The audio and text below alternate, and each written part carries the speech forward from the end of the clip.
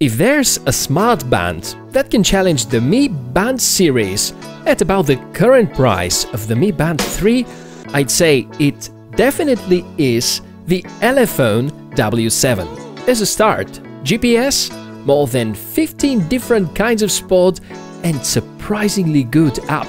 Let's see about the rest.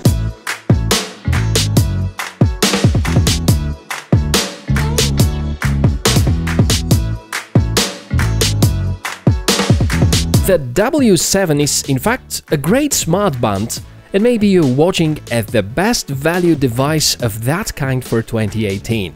Priced at around 25 US dollars, it is quite a steal and it's unbelievable how many features it packs underneath this tiny looking body. Because I tend to find most of these fitness trackers too gentle and somewhat better suiting a hand of a lady, I need to highlight the dimensions. Because of the larger battery and the inbuilt GPS, the Elephone W7 is a bit larger than the average smart band and in fact suits pretty well even people with larger wrists.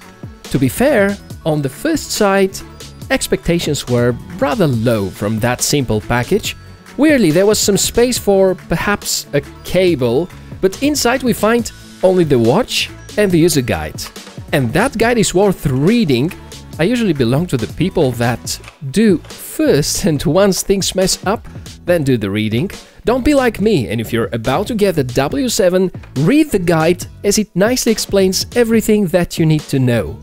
There we go, for a moment I thought that somehow the charging cable fell off the box during transportation, but then the user guide showed me that there's no need for a charging cable. Hooray!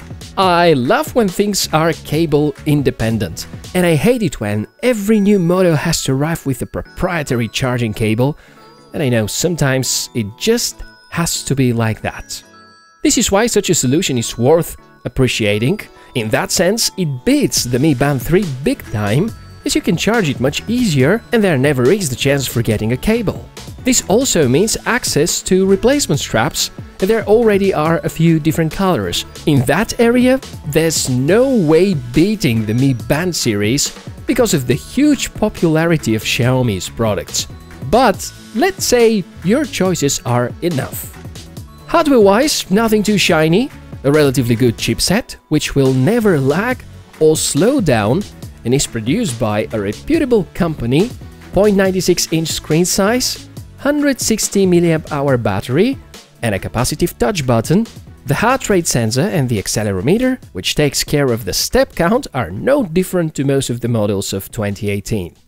The overall design is nice, with rectangular shape of the display, good placement of the touch button, and overall a well-visible screen of that type. Note that if it is under direct sunlight, you may find it hard to read anything, but even so, visibility is better than the Mi Band 3. Two major things make a big difference here, and both of them are software related, the app and the firmware. Let's start with the way we control it. This is the default watch face, quite informative. On the same page you're getting weather forecast, step count, calories burned. The available space is well utilized. Usually to switch between the available designs, it takes a long press. Nothing like that here, this is one of the few things I find irritating. The watch faces are available via a separate menu. Before reaching to it, we go through the heart rate menu and the sports modes. Now, there's a trick you need to know about. The sport modes accessible from the watch are 6 in total, but if your favorite one is not there, there's a great chance that it is available from the app and you can load it to the band. And yes, from the app, for some of the menus, you may add or change the functionality. Pretty cool.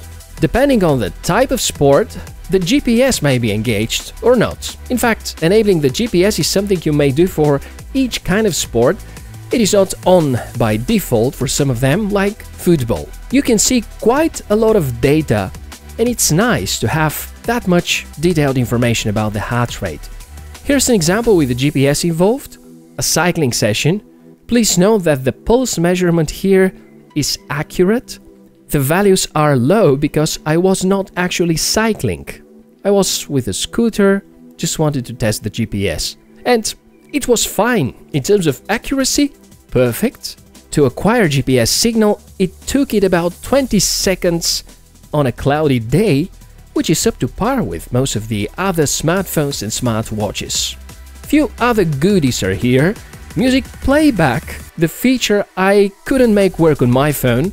The photo feature, however, is brilliant. There's even a custom-made camera interface that appears on the phone. Stopwatch, function to find your smartphone, and that's it more or less. Throughout the testing time, it felt awesome to be able to read all my notifications and get notified about calls. I think it is meaningless to mention that in terms of functionality, it kicks the Mi Band's ass again. Now, the app. Every time I have to test a new band, I feel terrified by the need to install another unknown, weird looking and sometimes unprofessionally compiled thing. And this one is called High HiMove and is in fact known of these bad things. The amount of functions is just about right, with understandable grouping of the features, good representation of the historical data. You don't need any registrations, and this is great. Sections to adjust your profile, goal settings, and then we jump to the device settings. This is where we do the trick with adding the sports. Keep in mind that walking and running are the two sports you can't remove and you have four optional slots. Nice! Alarms, water drinking reminder, sedentary reminder, do not disturb, and going back to the main screen, you see that? Google Fit integration. Finally, a $25 fitness tracker with proper Google Fit integration. Let's be honest, I don't think there's something more that we can wish from a device for such a modest budget. And while there still is some time until the end of 2018, right now this tracker can easily get the crown for the best budget device of the year. And sure, I can think of something missing continuous heart rate.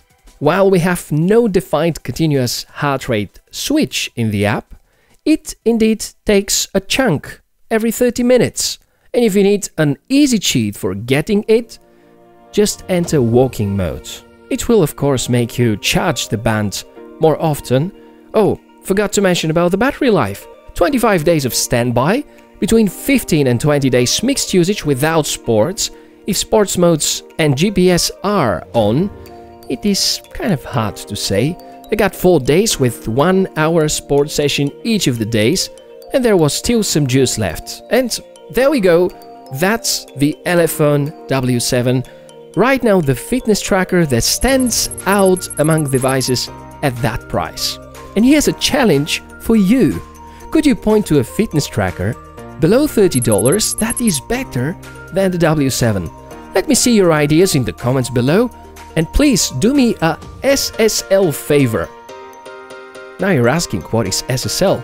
Ha! Huh. Of course, it means subscribe, share and like. And thank you for choosing the Tech for All channel for this review. I'll be back soon with more. See ya!